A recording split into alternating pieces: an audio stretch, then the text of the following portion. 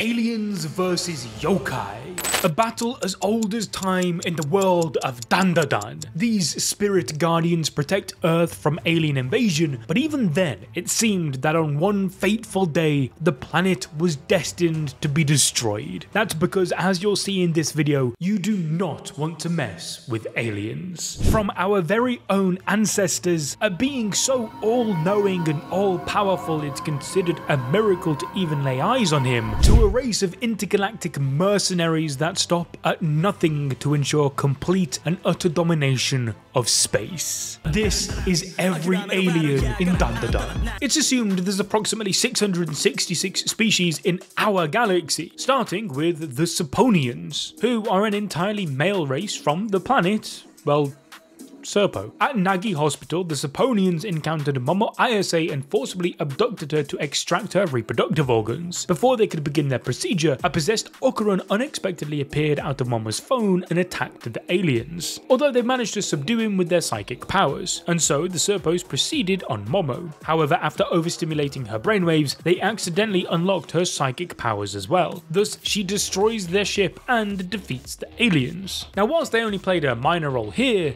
they later turned out to be an integral part of the story. The Serponians have for a very long time been overseeing Earth, but before interacting with humans, they took their time to study their behaviour, language, and history. Their knowledge extends so far even beyond the solar system, where it's according to their data that there's at least 666 aliens in Earth's galactic system. The Serpos also hold information about Earth's deep historical knowledge that even the humans aren't aware of, like historical tombs from the pyramids to the and burial mounds, which are actually transmission systems utilized for spatial travel. Their intensive intel stems from the advanced technology the Serponians developed. Being incredibly intelligent, possessing high level skills in science, they crafted UFOs which can turn invisible to travel undetected. They also have devices that can cast the empty space, allowing them to interact with humans without interference or exposure to the outside world. These advancements are literally how their race survives, as by only using cloning technology the Serpos can reproduce.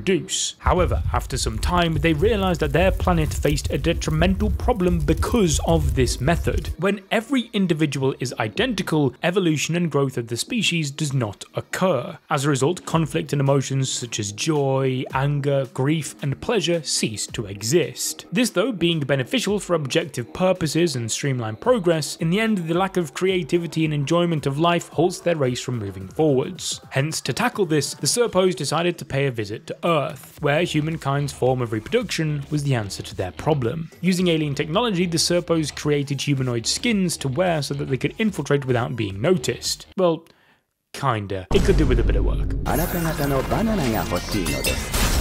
What? Now, unlike the humans, the Serpos had cloned themselves with technological robotic appendages, which they never used in the same way that uh, you or I did. To gain some experience, the Serponians needed to insert their PP into a female organ, later extracting their womb, all to understand its working out and how their race can reacquire reproductive functions. Likewise, they also need a male appendage, which they refer to as a banana. However, none of the Serpos like men, so they kind of skip this step. Well, kinda. However, their robot PP is no joke, and that sounds crazy after those words just came out of my mouth. But no, seriously, not only can they extract wombs, but they can also turn into scissors to snip the banana organs as they please. It can also be used to increase the power of other aliens by injecting special chemicals. Now, it's not really clear if it's coming from the same appendage, but what's certain is that there is multiple Swiss Army knife-like systems inside of the Serpos, where another tool located in their chest can be used to inject others healing them from even fatal injuries, but this can only be utilised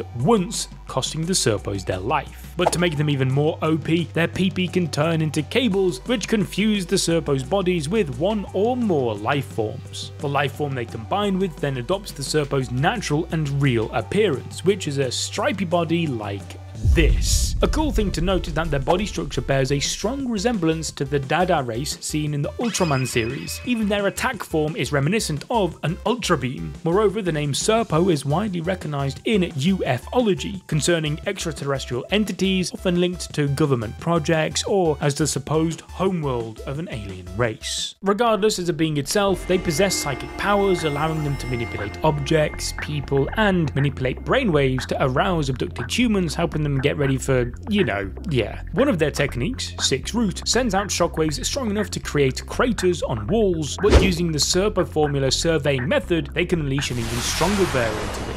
This was described by Aira as being hit by an invisible wall. Additionally, when three Serpos are together, they can combine their psychokinetic powers to create a pressurized field known as the Awesome Zone, capable of nullifying and subduing a human with yokai powers as well. In fact, had it not been for Momo's interference, Aira and Okarun would have been done for. That being said, not all Serpos are bad, which is where best boy Rokuro comes in. When they and the gang encounter a common enemy, Rokuro joins forces with Momo to later even have a friendly relationship with her. Though his actions can be seen as very objective, as he needed Ayase and her powers to defeat the Kur, with the primary goal of deleting the valuable data they had stolen, his actions showcased a route that could lead to evolving emotions. When presented with the perfect opportunity to abduct Momo, Rokuro decided to send away all his clones and form a truce with her for helping him out in battle. He even planned to use his healing injection on her when the time was right, but ended up using on Momo's friend instead. However, the Serpos, despite trying to blend in and act friendly, often do the opposite, acting violently towards the humans they abduct. Likewise, they're quick to lose patience with other aliens that they have on their books. You see, they hire other life forms to help them achieve their goal, one of which being the Flatwoods Monster. In fact, this was the second alien Momo and Okarun had the luxury of encountering. It was first spotted in the town of Flatwoods in Braxton County, West Virginia, which is where it got the name. However, at some point, it migrated to Japan and roamed the Yamanashi prefecture. After managing to survive the Turbo Granny and Serpo attack, Momo took Okarun home, hoping to finally relax. But in order to get Okarun inside safely, she had to take down the charm that was protecting her home from evil spirits.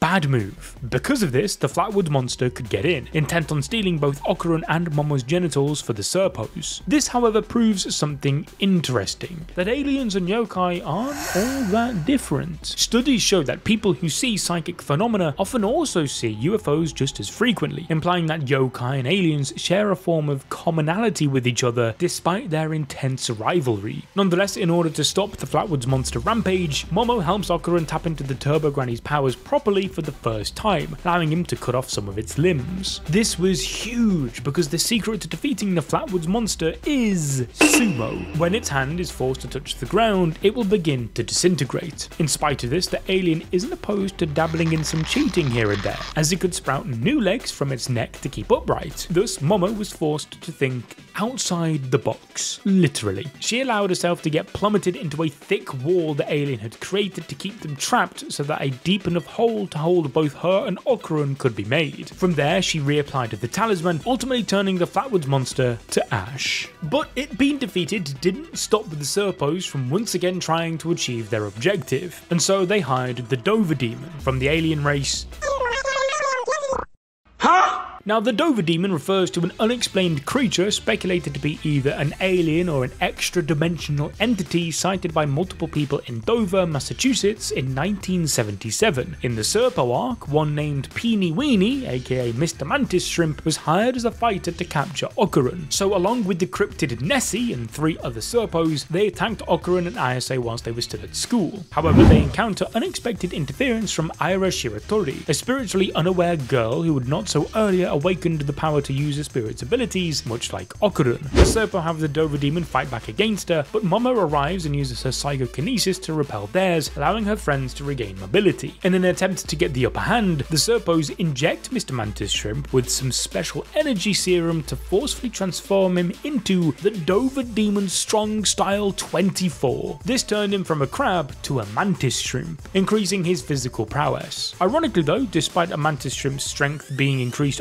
underwater, this form didn't have gills, meaning he had to come up for air. An interesting fact is that this enhanced form bears a striking resemblance to alien Baltan from the Ultraman series. Now regarding when Nessie unexpectedly turns against them, attacking the Serpo leaving only one alive, he uses his amalgamation cables to merge Nessie and the Dover Demon, creating the Serpod Dover Demon Nessie. Hence this fused being begins to assault with high compression water blasts from its mouth, but soon runs out of water after the trio evades the beams and targets the neck, ultimately destroying this combined entity. Nonetheless, this would mark the beginning of their great relationship, as Mr. Mantis Shrimp apologizes and evolved into the most helpful alien in the series. You see, the whole reason Mr. Mantis Shrimp even worked with the Serpos was to earn enough money for his son, Chiquitita's treatment, who suffered from an illness which had killed his mother. Luckily, Granny Seiko came to the rescue. Because the Dover Demon's blood is milk, she gives them a cow to make the child's blood transfusion cheaper and easier. In spite of this, the family is forced to move to Earth permanently as they soon learn that cows aren't quite cut out for living on other planets. And so, by using a spaceship given to him by a friend, who we'll get onto soon, Peeny Weeny was stationed on Earth disguised as a human and started work as a farmer. From then on, Mr. Mantis Shrimp vowed to never harm humans and made it a point to assist them during crises, often putting his own life on the line. But although he's willing to fight for noble causes, Mr. Mantis Shrimp considers himself a pacifist. He refused to teach Okarun how to fight, believing violence was wrong, though he admits he can be defensive, especially when criticized for his driving skills. However, Mr. Mantis Shrimp's race is renowned for their incredibly durable bodies and immense strength, making them formidable combatants suitable for roles as bodyguards. They're even immune to venom and some other poisons. But Mr. Mantis Shrimp was considered weak amongst his kind and criticized by the Serpos for underperforming in battle. This only gives us an insight into how truly broken their race might be, since he himself is insanely powerful. He's capable of delivering devastating punches that can break through walls and send opponents flying with ease, which makes him formidable in close combat. In fact, with his trademark Jet Punch, when used at full strength, he can quickly incapacitate anyone. In his transformed state, Mr. Mantis Shrimp gains a huge boost for 24 seconds, or 24 hours with the Serpo energy jizz. This transformation enhances his strength 24 times stronger and 10 times greater in water, where with his math, it makes him 240 times more powerful.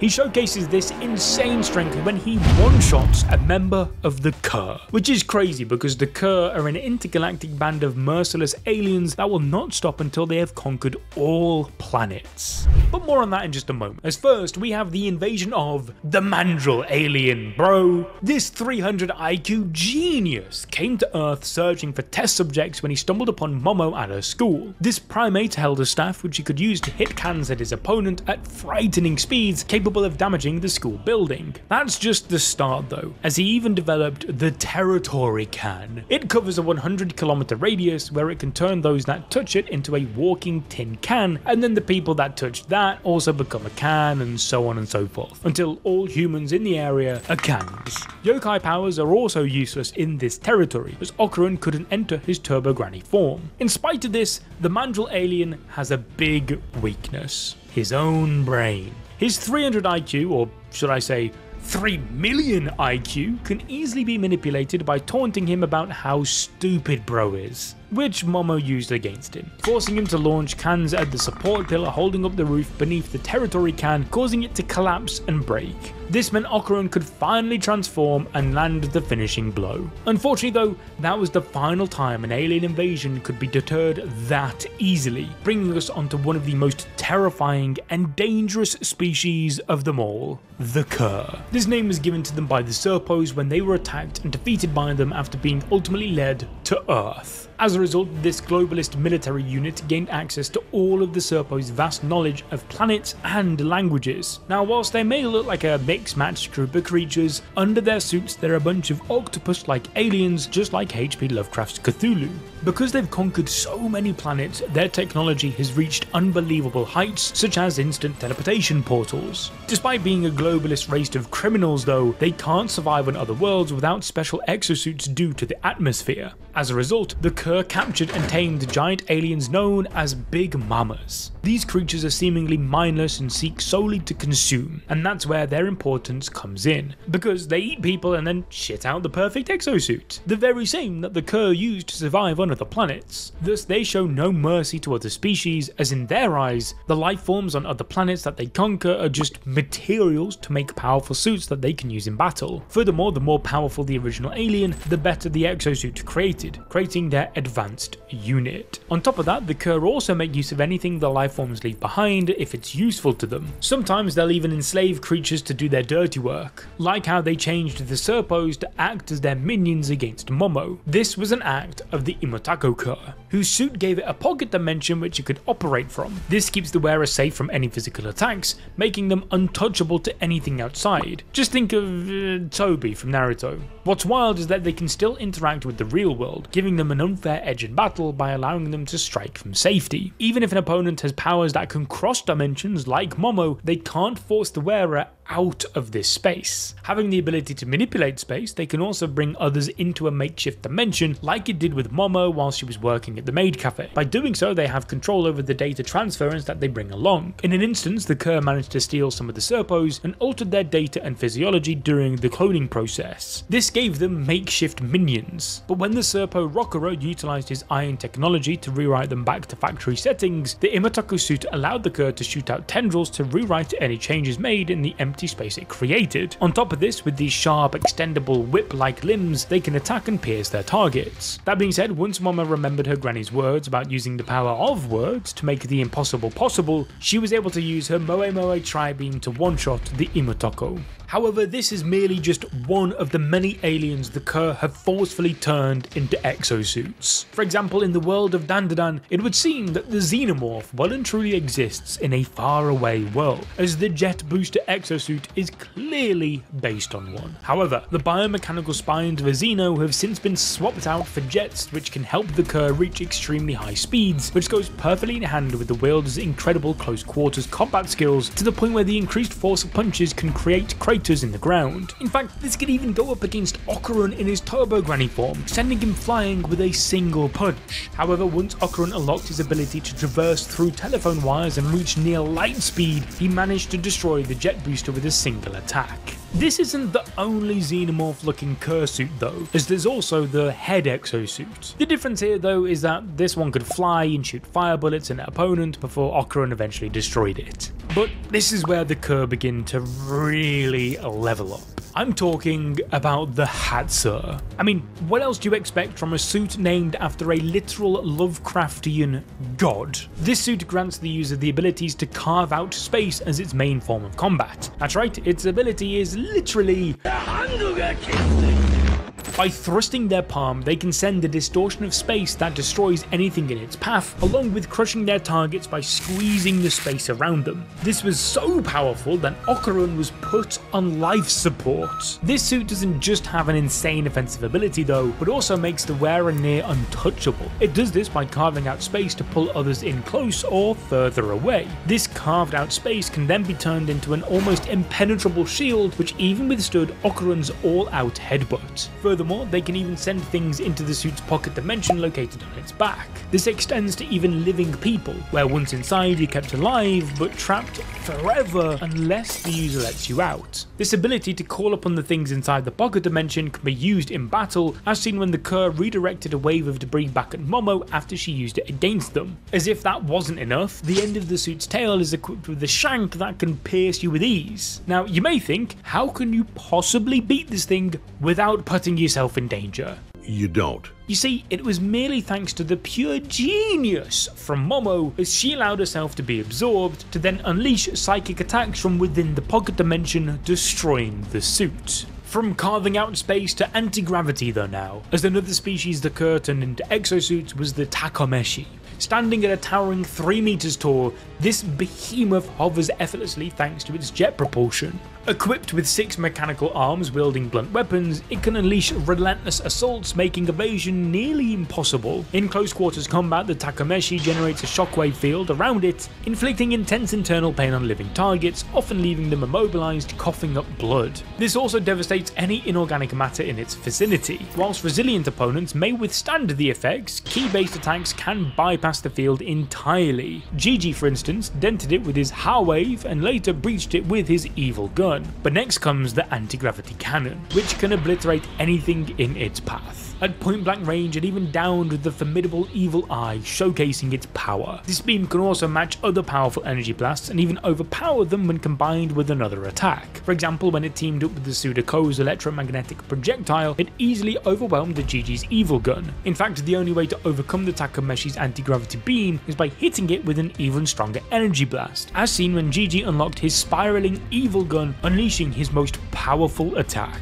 But talking to the Sudako, don't let him fool you. He may look like a cute little guy, but he's actually a master marksman. This suit's railgun can shoot an electromagnetic projectile at its target, which is powerful enough to damage the ground and even knock Aira in her acrobatic silky form a long distance away. Its skills aren't limited to just long distances though, as the Sudako's exosuit gives the wearer excellent flying ability, making it the most mobile exosuit of them all. In spite of this, the rifle wasn't strong enough to even graze the evil eye, who hit it with an Uno reverse card, destroying the suit with ease. One of the more multi-purpose curse suits, however, are born from a race of alien praying mantises. Not just any though, as this suit comes with laser blades. That being said, whilst very powerful, this is merely one form of this exosuit, as it can even enter its underwater mode, a version which vastly increases its overall strength by 100 times. In this form, it swaps the laser blades for more power and speed in its legs, which are strong enough to crack the seabed. And if that wasn't enough, they're also equipped with a venomous stinger which is capable of dissolving the target's internal organs for them to then slurp up. In spite of this, the Mantis Kur ended up fighting the worst possible opponent, Peeny Weeny. As when he shapeshifted, the Kur was given the left-right good night and destroyed. The Takanoko Rupacho, on the other hand, is another huge 3 meter alien suit capable of widespread destruction. Its 360 degree rotating head, paired with its advanced heads up display, gives it near total vision, helping the Kur to track their targets with ease. While its tough shell can endure powerful attacks from even yokai enhanced humans like Aira's acrobatic Silky, the suit's primary weapon is a barrage of guided missiles strong enough to severely injure her and knock her unconscious. However, the explosions are a double edged sword as they produce thick smoke that hinders the suit's HUD. That's not all though, as the Takanoko Rupacho also has floating discs that emit electricity to form a shield. This barrier makes close quarters combat dangerous, as it has a built in Uno reverse, where each attack is countered with an electric shock, something Okarun's second wife,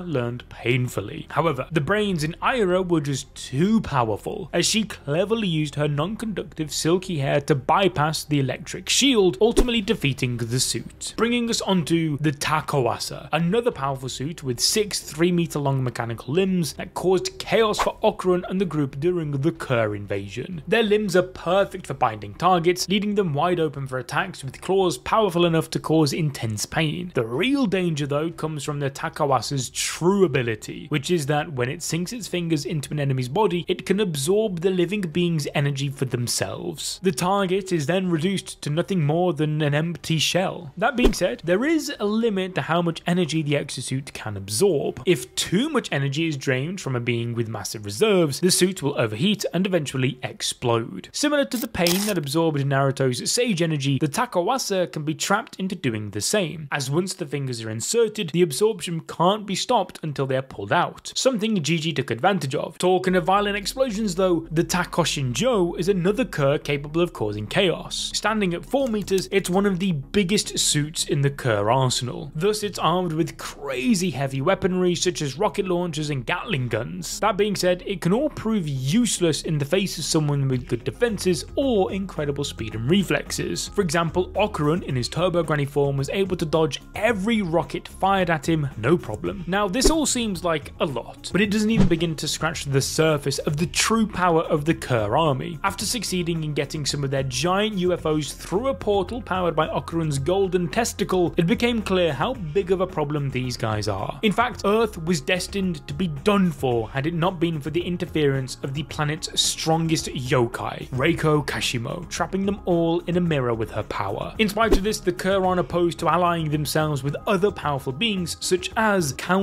Saint Germain, who's going around collecting different powers in his quest for Dandadan. But again, more on him in just a bit. However, the terror of the Kur does not end yet, as a lot of their army are still stationed in other planet colonies, such as on Summer, which gave birth to the most powerful exosuit to exist, Gojira.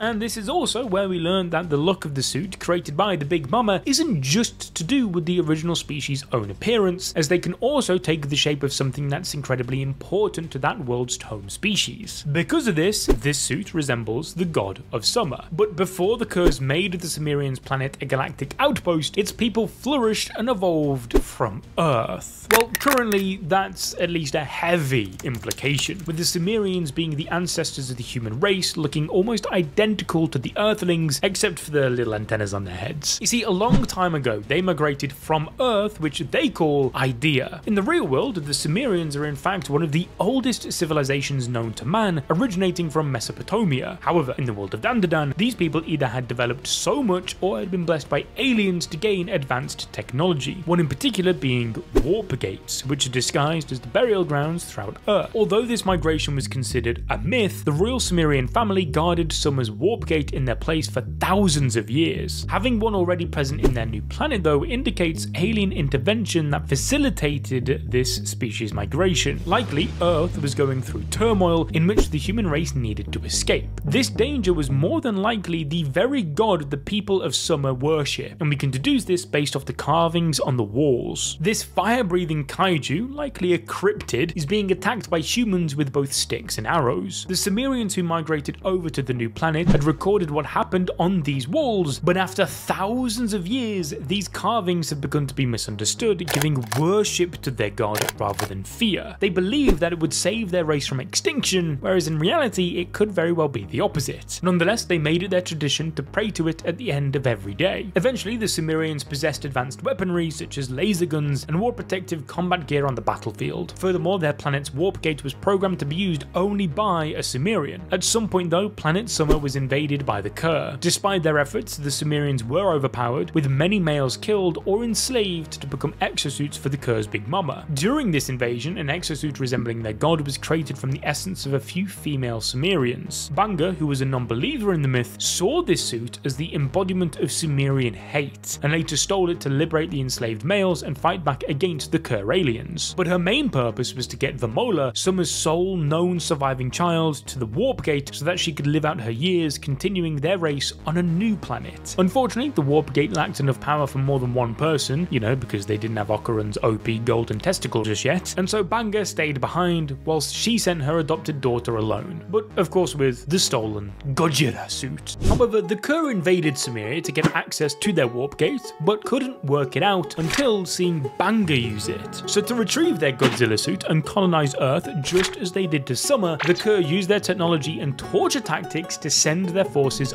over to Earth. Once they obtained the Okarun Golden Testi, they had the energy to send the whole army. However, as we mentioned, their invasion was thwarted. With most of the cursed ships and personnel trapped in the Mirror Realm, Banga, her friends, and some male Sumerians acquired a spacecraft to fight the remaining ones off as they headed to Earth to reunite with Vamola, who had successfully made it to Earth, and found a strong man in Okarun, at which Banga ordered her to get married and make babies. But after being rejected, Vamola was a key player in stopping the Kur invasion on Earth, as by using Godzilla, she was able to fight and even destroy some of the Kur in their exosuits. Like the Takanaka Rupacho, the Vamola's suit analyzes the environment with a heads-up display. Furthermore, this suit comes with immense strength, where a single punch is powerful enough to overpower humans with yokai abilities. But that's about the only similarity it has with the other suits, as with the Vamola's, it can go full-on kaiju size. In fact, the size varies depending on how big the suit wearer wants it to be.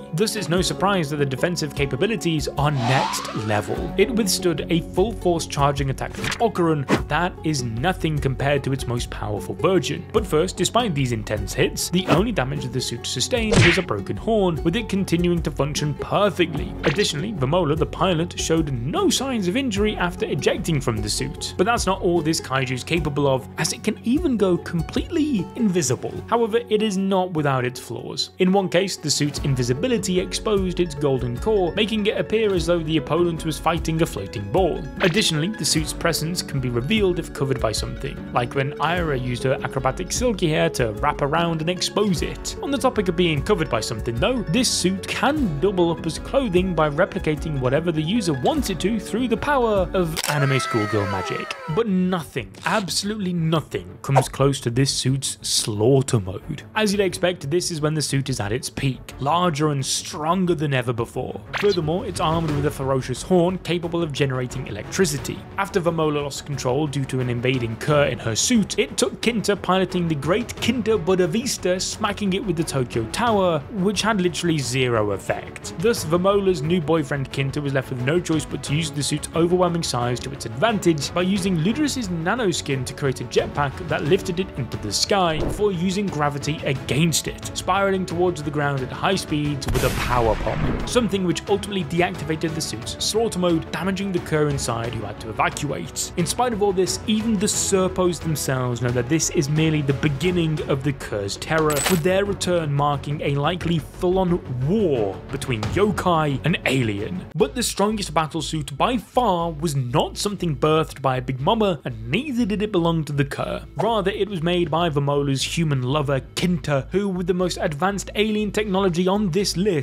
made a Gundam. This technology is, of course, none other than the ultra high density nanomachines, aka the Shape Memory Alloy Nanoskin. It's super overpowered because, with just imagination alone, it can be molded into anything. It does this by picking up the electrical signals from the person's brain and takes on the form that they are picturing. Kinta, mid battle, was able to manipulate it into a bike, to a plane, and then the biggest mech known to mankind. Even if the object created is broken or damaged, the nanoskin can restore itself back to normal. Now, this insane piece of technology belongs to the next alien on our list. Ludris. He was first introduced in chapter 62 when Mr. Mantis Shrimp requests his help to reconstruct the Ayase family home after it was destroyed. Peeny Weenie says that Ludris is a construction specialist and of course with his nanoskin they rebuild everything in no time. Later in chapter 90 we learn that this is who Mr. Mantis Shrimp's spaceship actually belongs to, where the then Serpo Rokuro shows his shock at even hearing his name. He reveals that Ludris is actually an all-knowing and all-powerful being, and because he flies throughout space, it's considered a miracle to even encounter him once. But from his appearance alone, we can deduce more secrets about his character.